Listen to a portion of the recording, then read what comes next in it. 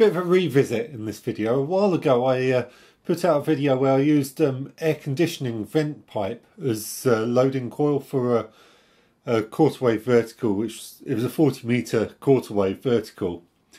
And uh, I managed to load it up on uh, 80 meters. Now, I'll be honest, that video was done in a bit of a rush. It was it was a bit of a lazy attempt to be honest. I showed it receiving some stations and I keyed up and showed that um, you could get a good SWR, but I didn't really uh, test it to see how well it would work. Now, I've had a bit of an opportunity come up here. We use um, JS8 as part of our RAYNET group.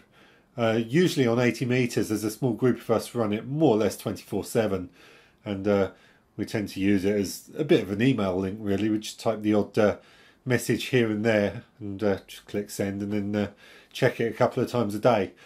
Now, last night um, the uh, SFI dropped so low that um, 80 meters, the link on 80 meters basically stopped working, so the messages weren't getting through. So the suggestion somebody's come up with is can we use 160 meters? Now, I'm in a three bedroom mid terrace. I don't have a lot of space for uh, low band antennas. So I, I sat down and thought, how am I going to get around this? And then it occurred to me, I've got a quarter wave vertical for 40 meters outside in the garden. Can I use a bigger loading coil and do what I did for 80 meters, but actually load it up for 160 meters?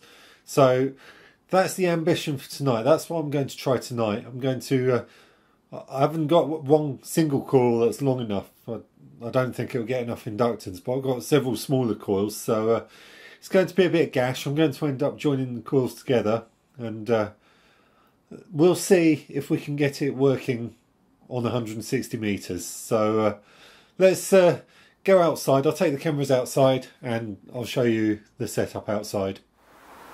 Outside in the back garden, here's a quarter wave vertical for 40 meters which uh, is actually tuned on 40 and if we look at the base of the antenna down here have a uh, one-to-one -one Balun and I've got my antenna analyzer connected to it at the moment. Uh, for the radial field I've got my uh, loop counterpoise which you saw, you saw in previous video. Uh, ground rod there and a uh, couple of air conditioning vent pipes which I've put together and loaded up as a coil and I've already tuned this. I uh, had to extend and shrink this one slightly to adjust it to get the best SWR and then on my antenna analyzer you can see there where oops it's gone sleep. So there we go if I uh, adjust it about um, 1.84 1.85 is where all the digital modes are on 160 meters and you can see there we're uh, one to one. Um, 1.1 1.2 to 1 so uh, we've got good coverage over the portion of the band that I actually want to use. Right I've been running a WSPR test. I've got up on my screen here. Uh, it's been going for about an hour. Now 160 meters is a nighttime band really so I'm not expecting wonders during the day. But first impressions, it seems to be working, but the results are a little bit strange because if we look at the WSPR test now, uh, the green dots are the uh, stations that have received me, that have heard, basically the stations that have heard my signal, and the red dots are the stations that I have heard.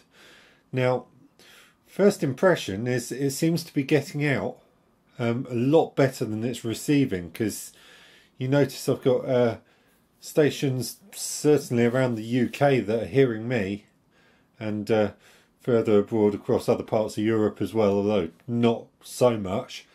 Um, but I can only actually hear two stations coming back to me. So I'm not quite sure what to make of this. It's a bit of a strange one. I'm not sure how many of these other stations are receive only or are actually transmitting. So this should be interesting. Now, I want to try this at night time because, as I say, 160 meters is a nighttime band. So I think the plan of action is I'm going to leave it there for now and come back to this a bit later on tonight And uh, I'll do another WSPR test, I don't know, maybe about 9, 10 o'clock tonight once it's got dark. And uh, we'll, uh, we'll see how it performs at night time.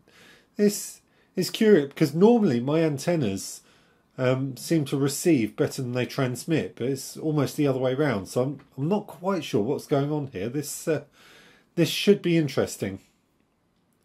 Well, it turns out that it is in fact possible to get on 160 metres with, uh, frankly, quite a small garden. I mean, I've got, what, probably around 5 metres per 5 metres or 6 metres per 6 metres. Not, you know, not particularly big garden. It's your average size mid-terrace. And uh, check my uh, loop on the ground counterpoise uh, video to see how I got the uh, ground system in. But uh, that works fine on 40 metres. I, I, didn't hold out a lot of hope for this on 160 metres, if I'm brutally honest.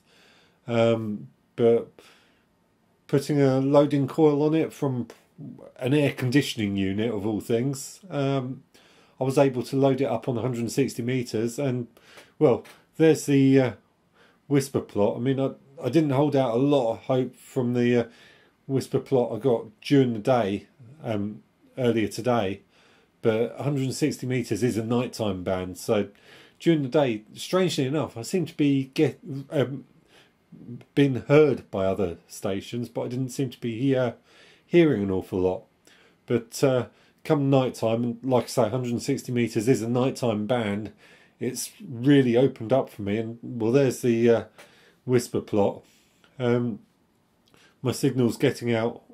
I'm talking all over uh, the UK and um, probably over a good portion of Europe as well. So there you go. If you don't have a lot of space, you can still get on 160 meters. If you can get a 10 meter uh, vertical up a quarter wave for 40 meters, you can have 40 meters and 160 meters just with a loading coil. And uh, I suspect I tried it once before, managed to get it to tune, but I didn't really properly test it but I suspect you could do this on 80 metres as well. So uh, there you go. Having a small garden doesn't necessarily exclude you from uh, getting on uh, 40 metres, 80 metres, 160 metres. Um, you can do the low bands. How good this would be on NVIS? Questionable, frankly, but uh, you can still have a little bit of fun with it and uh, well, like I say, you've uh, you've seen my WSPR plots, so uh, you draw your own conclusions.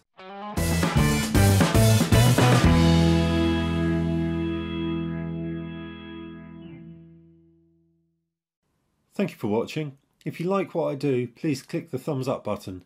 It lets me know that I'm heading in the right direction with the channel and gives me the confidence to keep doing what I'm doing. Don't forget to click the subscribe and also the bell button to be notified when I upload new content. If you don't like what I'm doing, feel free to click the thumbs down button. Just tell me why in the comments below. I welcome your feedback and constructive criticism will help me to improve the channel. Take care and I hope you will catch me in the next video.